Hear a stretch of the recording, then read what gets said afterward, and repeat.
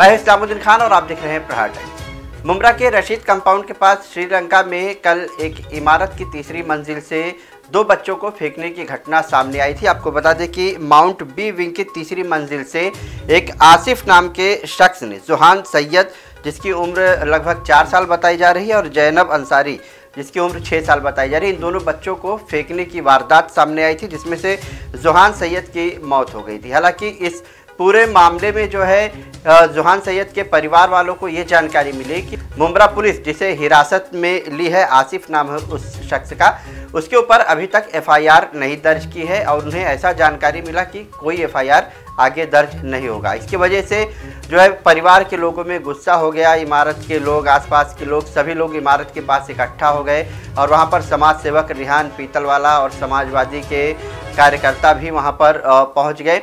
हालाँकि वहाँ से फिर ये लोग हॉस्पिटल पहुँचे और डेड बॉडी लेकर जो है ये मुमरा पुलिस स्टेशन पहुँच गए। आपको बता दें कि जोहान सैयद की जो डेड बॉडी थी वो मुमरा पुलिस स्टेशन लेकर पहुँचे और पुलिस मुमरा पुलिस से बातचीत की गई कि आखिर एफआईआर क्यों नहीं दर्ज किया जा रहा है। ऐसा कहा जा रहा था जो जोहान सैयद के चाचा हैं हुसैन अंसारी। इनका कहना था कि जब तक एफआईआर दर्ज नहीं होगी, तब तक ये जो है डेड बॉडी को दफन नहीं करेंगे।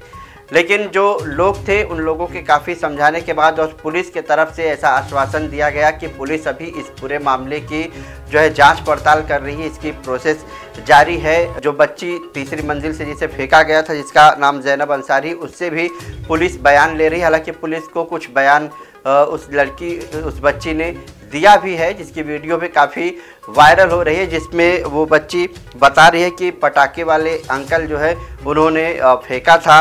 पहले जो है, लड़की को फेंका था, उसके बाद फिर लड़के को फेंका था, ऐसा वो बयान दे रही है। वीडियो सोशल मीडिया में वायरल भी हो रही है। लेकिन पुलिस के आश्वासन मिलने के बाद फिर जो है, अब इन लोगों ने बताया कि पुलिस ने कहा है कि एफआईआर जो है दर्ज की जाएगी।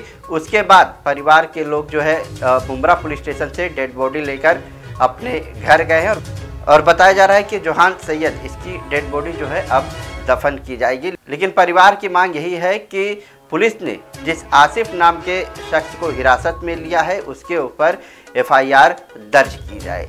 मुमरा पुलिस स्टेशन में डेड बॉडी लेकर पहुँचे थे और उसके बाद वो समाज सेवक रेहान पीतलवाला और परिवार के लोगों ने और समाजवादी पार्टी के कुछ कार्यकर्ता थे उन लोगों ने क्या बताया है आपको सुनाते हैं। आप लोग पुलिस स्टेशन आए थे यहाँ पर सीनियर साहब से मुलाकात की। सीनियर साहब डेड बॉडी भी इधर लेकर आए थे क्या? अभी सीनियर साहब से बात नहीं है उनको जो बच्चे के चाचा सलीम इधर आ। सलीम। क्या नाम है? सलीम नाम है? फरहान भाई। फरहान जो बच्चे का चाचा है हाँ। उनका ये बोलना था कि पुलिस ने कंप्लेंट नहीं करी तो सीनियर साहब जो हमारे थे उन्होंने बताया। सीनियर साहब तो अभी है नहीं लेकिन उनके उस पर बताया कि भाई हम शाम तक के अभी एक टीम गई है हमारी बच्ची का स्टेटमेंट लेने के लिए। जिससे स्टेटमेंट का काम पूरा हो जाएगा तो रात तक के हम एफ़ ले लेंगे। आप ये जो मामला है तकफीन का ये कर लिया और 100 परसेंट उसके ऊपर एफ़ आई तो ये डेड बॉडी आप लोग पुलिस स्टेशन क्यों लेकर आए थे? तो वो वहीं से आई ना अभी तक घर पे नहीं गए थे। तो यहाँ से इधर आ गए अभी इनसे बात हो गई अभी यहाँ से लेके जाए अभी ये सिविल हॉस्पिटल से अभी आई रही है तब ये बॉडी हम खुद ही लाए थे हाँ। ताकि हमको ये था कि हमारी एफआईआर होगी तभी हम तफ्तीन करेंगे। अच्छा तो सर क्या आश्वासन क्या हमने यही वो चीज़ सर के सामने रखा। सर ने बोला कि नहीं नहीं हाँ आज तक मैं करता हूँ शाम तक। तो ठीक है इंशाल्लाह देखते हम शाम तक होता तो ठीक है। उसके बाद अभी मैं भी स्टेटमेंट नहीं दूँगा जब तक सर का स्टेटमेंट नहीं आएगा। तफ्तीन नहीं तफ्तीन वो अभी मैं स्टेटमेंट नहीं दूँगा। आपका नाम क्या है? हुसैन अंसारी में बच्चे जोहान का नाम चाचा। सर ने बोले होगा इंशाल्लाह तो ठीक है। अच्छा कल तक तो हम एफ़ आई आर उन्होंने तैयार है एफ़ आई आर देने के लिए तैयार है और उन्होंने बोले हम देखते कि हम लोग एफ़ आई आर करेंगे। उसका आप लोग बिल्कुल 99 परसेंट हो गया प्रोसीजर में है वो चीज़ें तो कुछ कानूनी अच्छा, बिल्डिंग के नीचे भी काफ़ी महिलाएँ इकट्ठा हो गई थी क्या ऐसा वहाँ पर क्या हो गया था? ये बात सामने आई कि पुलिस एफआईआर नहीं ले रही है इस वजह से आप कंफर्मेशन मैं यही सुन के तो मैं वहाँ पे पहुँची थी मैं नूर चौधरी हूँ समाजवादी हाँ। पार्टी से। तो मेरे पास यही न्यूज़ आई कि पुलिस एफआईआर नहीं ले रही तो यही सुनकर हम लोग वहाँ पहुँचे थे। तो वहाँ पहुँचे वहाँ पे यही बात चल रही थी कि बच्ची का वीडियो डिलीट कर दिया गया ऐसा वैसा ये गलत है न्यूज़ हाँ। ऐसा कुछ नहीं था। बच्ची का वीडियो है अभी भी है और बच्ची का जो बच्ची होश में आई है उसके बाद पुलिस ने जो भी उससे बच्ची से लिए है वो चीज़ से प्रोसीजर वो चालू है। और वही चीज़ बयान लिया गया बच्ची का। बच्ची का बयान लिया गया और बच्ची के बयान पे भी काम चालू है।